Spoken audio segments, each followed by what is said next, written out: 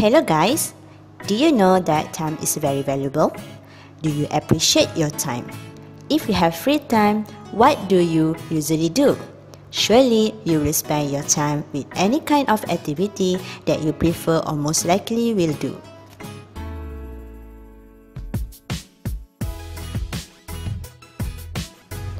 However, it is difficult to manage our valuable time, especially with work or daily responsibilities.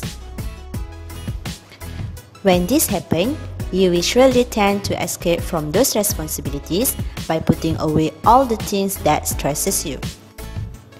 The valuable time that you have should encourage you to engage with any activity that will improve your sense of well-being, happiness, and life satisfactions. This concept is closely related to how you gain benefit from how you spend your leisure time.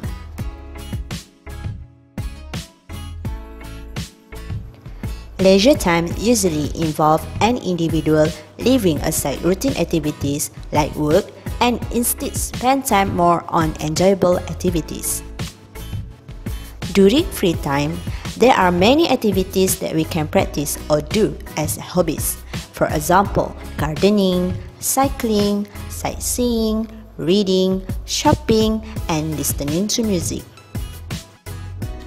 On average day, nearly everyone aged 15 and over 90% engage in some sort of leisure activity such as socializing, exercising, or watching TV. Watching TV was the leisure activity that occupied most of our time, accounting for more than half of all leisure time on average.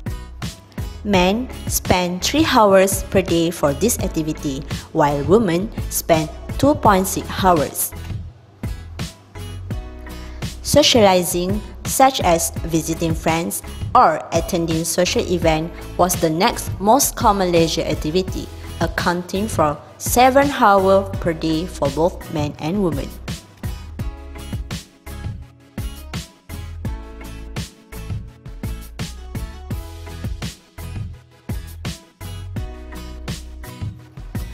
Sometimes, people will engage in leisure activities because of their human nature, which love to seek fun, relax, and rejoice from their responsibilities, which sometimes cause fatigue. Engaging in leisure activity can benefit a lot to our life. Many researchers agreed and found that actively participating in leisure activity has a negative association with stress and depressive symptoms. For an example, a study indicates that participation in leisure activity improve health status, provide the opportunity to meet new people, and reduce depressions. Leisure activity can influence health. It can be used as a diversion medium to divert the psychological distress into an enjoyment phase. There are extensive literature on the benefits of leisure which is help people to recover from fatigue, reduce stress, learn skills and self-determinations, improve health, enjoy the natural environment, tranquility, and talking to other people. In this documentary, we will exploring more about leisure activities which are practiced by people in their free time. As leisure activity can be done anywhere, we went to visit one of the attractive places in Kuala Lumpur, which is the Perdana Botanical Garden.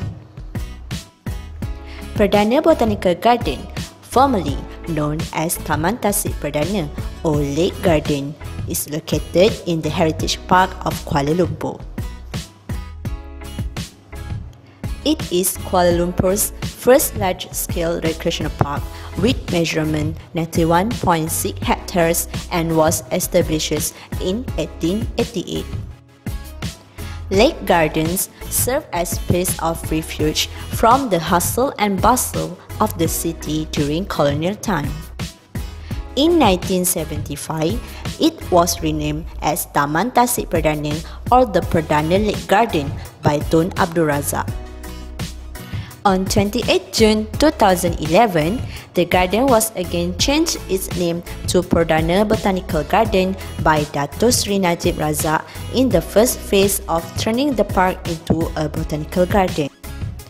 This garden consists of many Malaysia's most popular tourist attractions, including KL Bird Park as the world's largest walk-in aviary, a butterfly park, a deer park, orchid and hibiscus garden. Perdana Botanical Garden is a suitable place for any leisure activities such as jogging, cycling, walking, taking pictures, doing wellness activities, and experiencing nature's ambience. To get more information about the perception in Perdana Botanical Garden as a leisure attractions, we had interviewed several visitors who spent their time here. We also did ask them on what has motivated them to come here, how frequent they visit this place, and what other activities they will engage. Wow, it's quite peaceful, the greenery is not like Hong Kong, it's all buildings. And here, there's the park. There's a big park, the lake.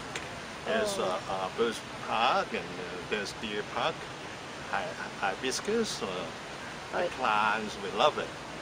This is it's quite amazing that this is a commercial city center, and then you have such a huge green greenery park. This is this is impressive.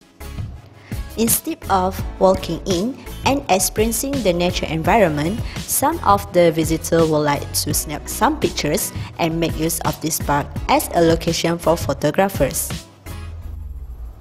Throughout our walk, we saw a lot of visitors taking pictures with their family and there are also some groups from organizations having their photoshoot session.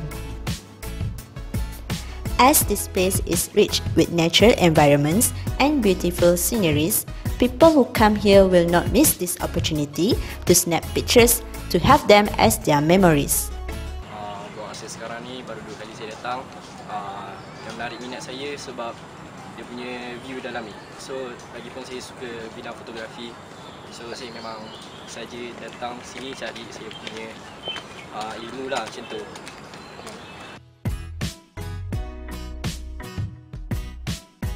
Bagi saya uh, kalau macam panas macam tu mungkin kena tambah sikit uh, lah supaya boleh bertelur sikit macam tu je lah Perdana Botanical Garden is very suitable for leisure and recreational purpose. Thus, it is encouraged for visitors to bring their family here and do some activities like playing rollerblades, having picnics, and other family bonding activities. Along the walking path, we saw many playgrounds provided by this park, and most of the parents will come here will spend their time with their children. Saya antara yang mengatur adalah aktiviti untuk anak-anak lah. Yang kedua, untuk jogging, untuk exercise dekat sini adalah antara yang terbaik.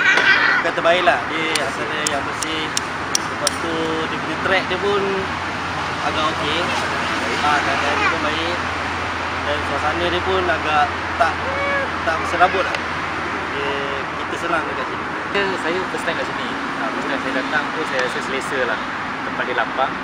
Uh, environment dia cantik. Dia bersih. Uh, saya rasa sesuai buat.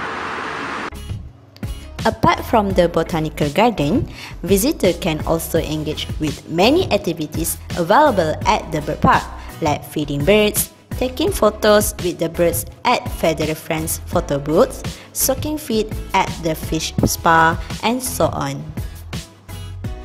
The attractions in the bird park include the Love Aviary, World of Parrots, educational stations, bird show, Hornbill Park, Peacock and Hornbill gift shops, Bubble Land, and Flamingo Land. To enter this park, we need to pay a fee of 27 ringgit for adults and 13 ringgit for children. However, for foreign tourists, the price may be a little bit expensive, which are 67 ringgit for adults and 45 ringgit for children. Ready, Violet? One, and go!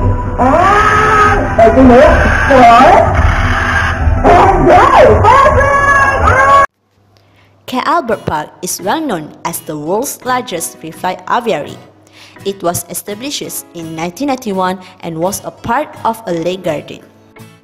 Here, the most popular activity for leisure purpose is the bird show. Visitors can watch tame birds listening to their guardian's instructions. They will do what have been instructed by their guardian and the best part is the visitor can participate in the showcase. According to him, the peak hours for this park is from 11.30 am until 2 pm because it is the time to feed the birds. He also said the peak hours are usually on Saturdays and Sundays depending on the condition of the weather. If the weather is not okay and it's raining, the park will be closed because the birds will not listen to the instructions of their guides. He also mentions that visitors will prefer more on bird show which will always held at the amphitheater on 12.30 pm and 3.30 pm. Besides feeding birds and watching bird shows, visitors can do some activities in the orchid gardens. This place was officiated by Datin Sri Dr. Siti Hasmah binti Haji Muhammad Ali on 15 April 1986. Usually, visitors will snap pictures of orchids, sightseeing, and enjoying some relaxing activities. However, the activities may be mundane due to bleak and dull ambience. This was proven when we interviewed the visitors. Some of them expressed their dissatisfactions on the maintenance of the garden. I think if it's too hot, isn't it?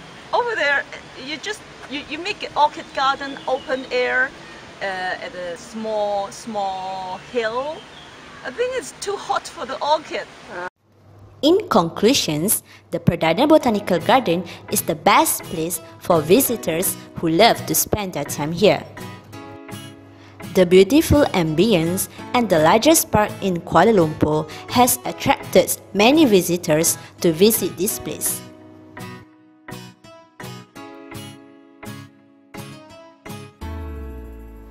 Although this park was located in the middle of the hustle and bustle of the city, it still keeps the freshness and beautiful greenery.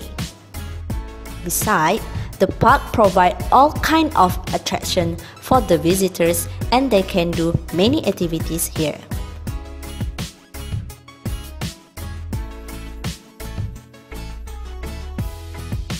To improve the operations of this park, we gain some suggestions from the visitors that we had interviewed. Mostly, they suggested that the park should provide more entertainments and programs here so that they can join instead of just strolling in here. They had also said that the management must improve more on their directory so that first-timer visitors can reach to their destinations much more easily.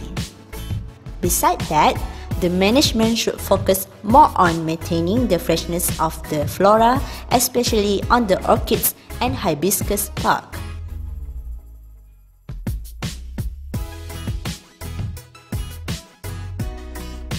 In general, most of the visitors we interviewed were satisfied and happy with the facilities and the activity provided here. Overall, the place is nice and beautiful.